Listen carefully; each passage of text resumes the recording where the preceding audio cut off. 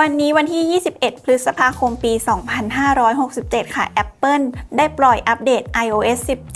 17.5.1 ออกมาให้พวกเราได้อัปเดตกันแล้วนะคะ ซึ่งใน iOS เวอร์ชันนี้เนี่ยจะเน้นไปที่การแก้ไขปัญหาที่เกิดขึ้นใน iOS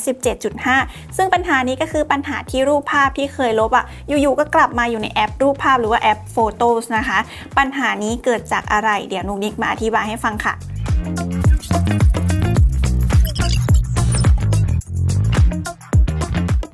ชื่อว่าหลายคนคงจะเคยอ่านข่าวนี้ผ่านๆตาบ้างนะคะ ก็คือที่ต่างประเทศเนี่ยเขาเจอปัญหาหลังจากอัปเดตเป็น iOS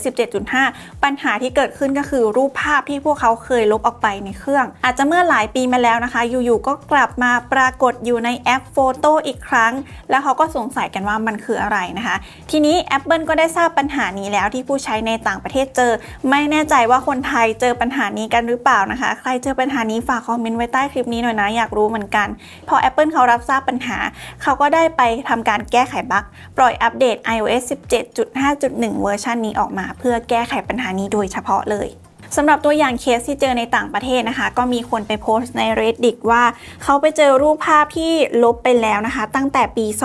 2021 จู่ๆก็กลับมาแสดงในแอป Photo อีกครั้ง แล้วก็ในระหว่างนั้นนะก็มีการขึ้นสถานะกำลังอัปเดตไปอย่าง iCloud ด้วย ซึ่งในโพสต์นี้นะคะ ก็มีคนมารายงานปัญหาที่คล้ายๆ กัน บางคนอะเจอรูปภาพ 4 รูป ตั้งแต่ปี 2010อทุกคนขึ้นมาใน iCloud อีกครั้งก็มี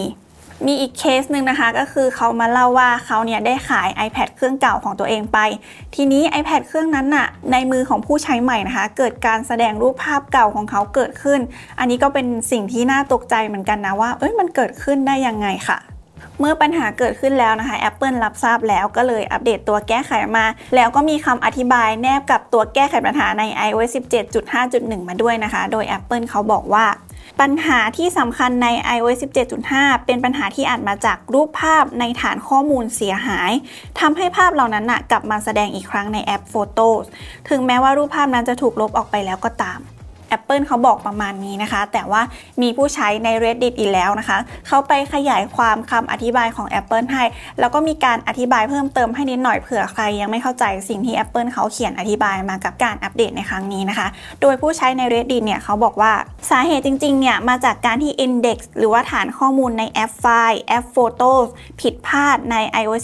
17.5ทำให้ข้อมูลที่ถูกลบไปแล้วกลับมาแสดงอีกครั้ง ข้อมูลเผยว่าการบันทึกภาพลงใน iPhone นั้นมีหลายวิธี อย่างเช่นการดาวน์โหลดมาจากแอปต่างๆ กดรับ AirDrop มาจากเพื่อนบ้าง กดบันทึกหน้าจอเองบ้าง แล้วก็มีวิธีอื่นๆนะคะ ที่จะทำให้รูปภาพของเราอะมาอยู่ใน iPhone ได้ ซึ่งวิธีเหล่านี้นะคะ บางครั้งอะมันก็จะถูกการบันทึกข้อมูล ทั้งในแอปไฟล์แล้วก็แอป Photo ด้วยค่ะ แล้วถ้าเกิดว่าผู้ใช้กดลบรูปภาพเฉพาะในแอป Photo นะคะ แต่ไฟล์อะก็ยังอยู่ในแอปไฟล์อยู่ ดังนั้นก็ถือว่ารูปที่เราลบไปอะมันยังคงอยู่ในแอปไฟล์อยู่ ไม่ได้ถูกลบออกไปทั้งหมด เพราะฉะนั้นเวลาที่เกิดการอัปเดต iOS 17.5 ขึ้นมานะคะ มันเกิดกระบวนการที่เรียกว่า reindex กระบวนการ reindex นี้นะคะ ไปเข้าใจว่าไอ้ไฟล์เนี้ย ที่ยังอยู่ในแอปไฟล์อะมันคือไฟล์ที่อยู่ในเครื่องอยู่ ก็เลยดึงเอามาไว้ในแอปรูปภาพ เพราะว่าเข้าใจว่าเนี่ยอ่านี่คือไฟล์รูปภาพนะ ก็เลยเอามาแสดงในแอปรูปภาพนะคะ ทีนี้ไฟล์ที่กลับมาในแอปรูปภาพ มันจะไม่ได้เป็นไฟล์ที่เต็มเม็ดเต็มหน่วย แต่ว่าจะเป็นไฟล์ที่คุณภาพต่ำๆนะคะ ไม่ชัดบ้างเป็นสีเทาบ้างอะไรประมาณนี้ เดี๋ยวอธิบายให้เห็นภาพจากคอมเมนต์ใน Reddit อันนี้ให้ฟังนะคะ เวลาที่เราเอารูปภาพเข้ามาไว้ในเครื่องอะ่ะ มันอาจจะถูกเซฟลงใน 2 format ก็คือเอามาเซฟไว้ในแอป Photo 1อัน หรือว่าจะเซฟลงในแอปไฟล์อีก1อัน ก็คือเป็นประเภทของไฟล์รูปภาพที่สามารถอยู่ในแอปไฟล์ได้เนาะ ทีนี้ถ้าเกิดว่าเราลบรูปในแอป Photo ไป ก็คือเราไม่เห็นในเครื่องแล้วใช่ไหม แต่ว่ามันอาจจะยังมีหลงเหลืออยู่ในแอปไฟล์ ซึ่งเกิดจากการที่ระบบอาจจะยังไม่ได้ลบออกไปให้เราแบบ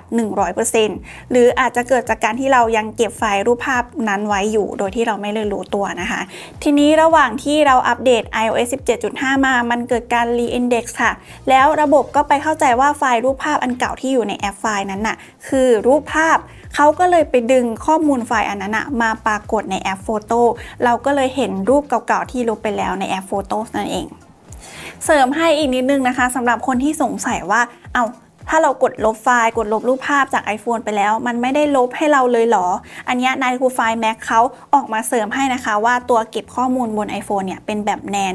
การเก็บข้อมูลแบบ NAND นะคะ ก็คือเขาจะยังเก็บข้อมูลบางส่วนเอาไว้บนหน่วยความจำอยู่ แต่จะถูกลบออกไป